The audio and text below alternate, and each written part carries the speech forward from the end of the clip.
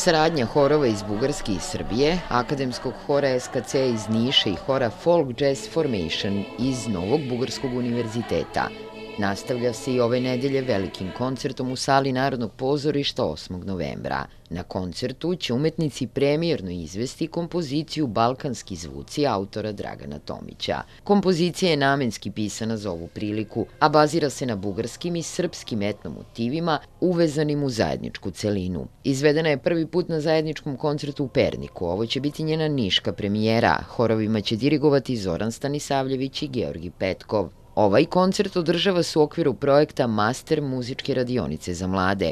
Projekat je kofinansiran od strane Evropske unije kroz IPA program prekogranične saradnje Bugarske i Srbije.